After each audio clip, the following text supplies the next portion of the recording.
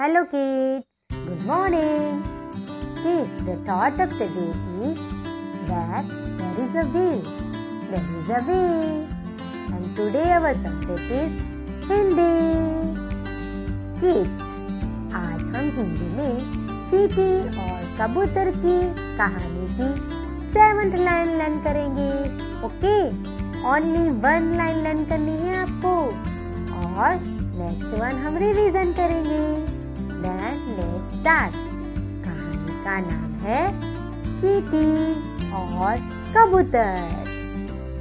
लड़का ज़ोर से चीखा, आ! अगेन लड़का ज़ोर से चीखा, आ!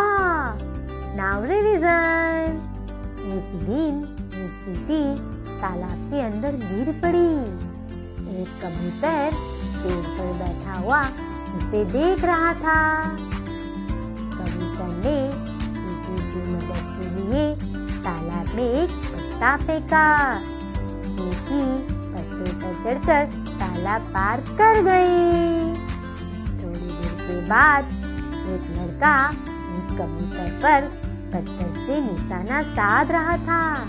चीटी ने यह देखा और जल्दी से लड़की के कंधे पर चढ़कर उसे काट लिया। Listen Nat. Okay? Bye-bye!